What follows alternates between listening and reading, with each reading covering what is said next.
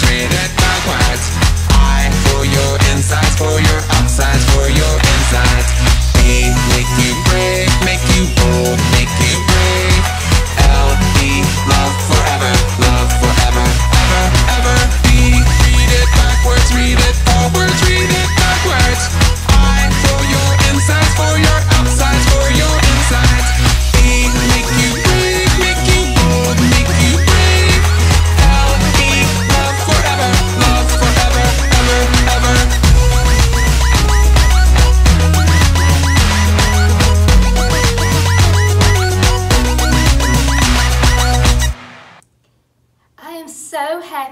joined us today.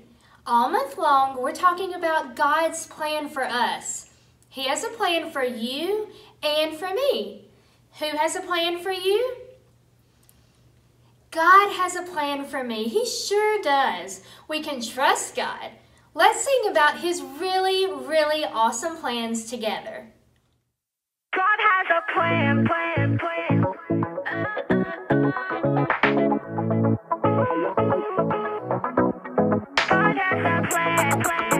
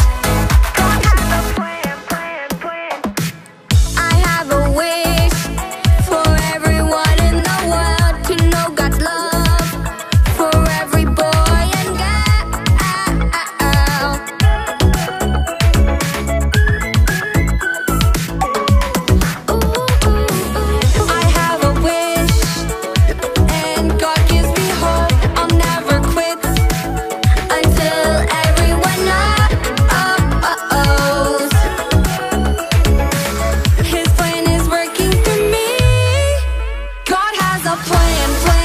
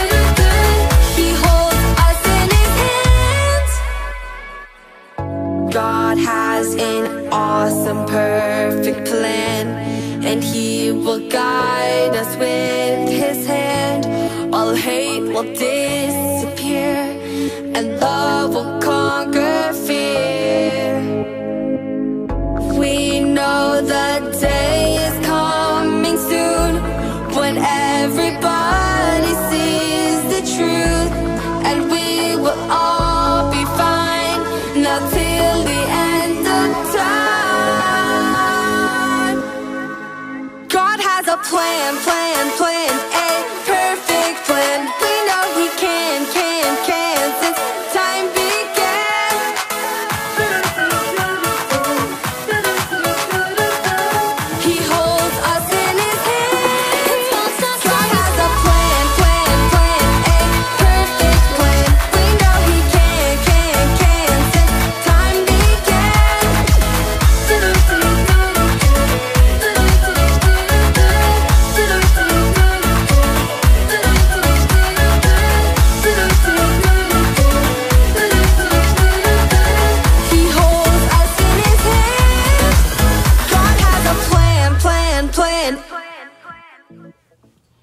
God's plans are good. God has a plan for you and me. Let's say our memory verse together. For I know the plans I have for you, says the Lord. Jeremiah 29 11. Now let's add in our motions. I know the plans I have for you, says the Lord. Jeremiah 29 11. Let's do it one more time.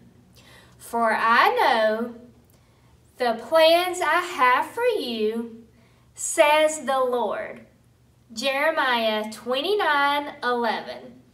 I can trust God and you can too when we remember that God has a plan for me.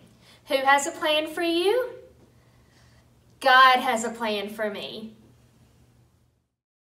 Who? Who? Know what time it is? Time to hear a story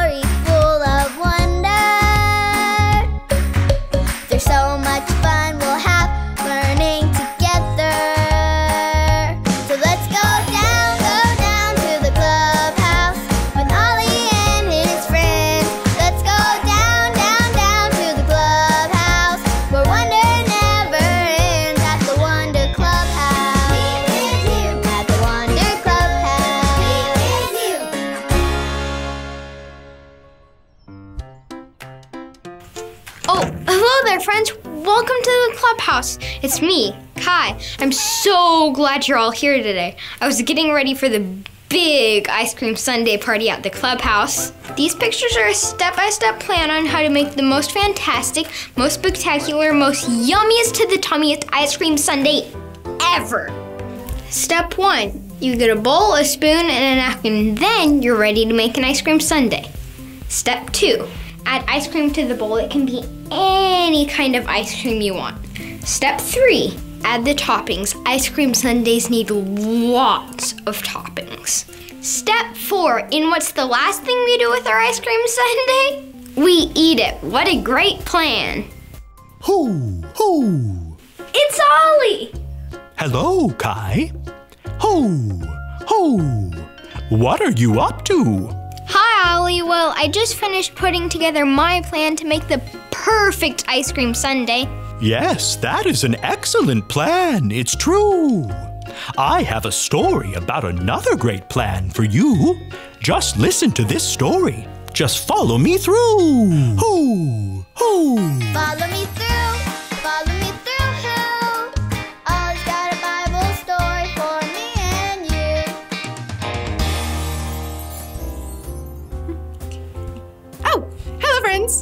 And I'm helping out at the cupcake food truck. Do you want to see my latest, most delicious creation? Ta da! These are my Sweet Dreams cupcakes because in today's story, we're going to talk about someone who had some pretty amazing dreams. If you're ready, on the count of three, yell, Tell me a story. One, two, three!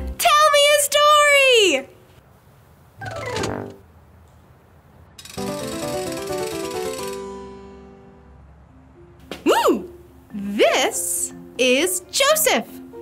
He was put in jail, even though he had done nothing wrong. Being in jail was hard for Joseph, but God had a different plan. One day, the king of all of Egypt, the Pharaoh, had some dreams he didn't understand. They were about seven cows. Cows? What do cows say? Moo! You're right. Dreaming about cows is funny. Wait, ooh, let's count the cows in Pharaoh's dream. One, two, three, four, five, six, seven. Great job! Seven cows. The Pharaoh also dreamed about stalks of grain. Grain? We make bread out of grain. Let's pretend to have a snack. Mm, yum. Mm, yum! Pharaoh wanted to know what his dreams meant. And drumroll, please. He asked Joseph to help him. Hooray! Joseph was brought out of jail straight to the Pharaoh. He told Pharaoh that the dreams were from God, that Pharaoh needed to save lots and lots of grain because his people were going to be hungry and need it later. Pharaoh was so happy to know what his dreams meant that he gave Joseph a very special job. He put Joseph in charge of all of Egypt. Years later, the dreams came true. People were hungry and didn't have food, so they traveled from all over to get grain from Joseph. Wow! God's plan was for Joseph to help all these people. God has a plan for us too. And God's plan is the best plan. Did you like the story? If you did, give it two thumbs up. Two thumbs up! hey, Ollie, tell me, who has a plan for you? God has a plan for me. Yes, it's true. Now let's hear it from you.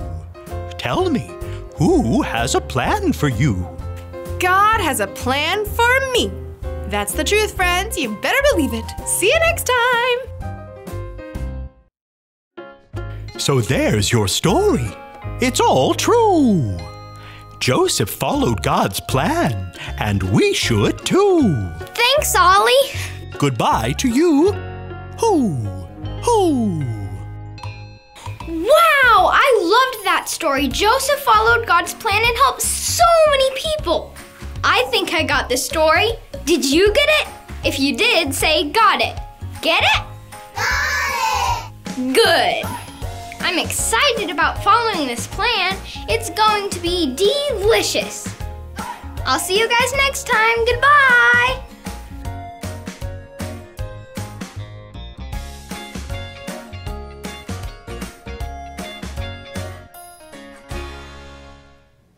Just like God had a plan for Joseph, God has a plan for you. It's true.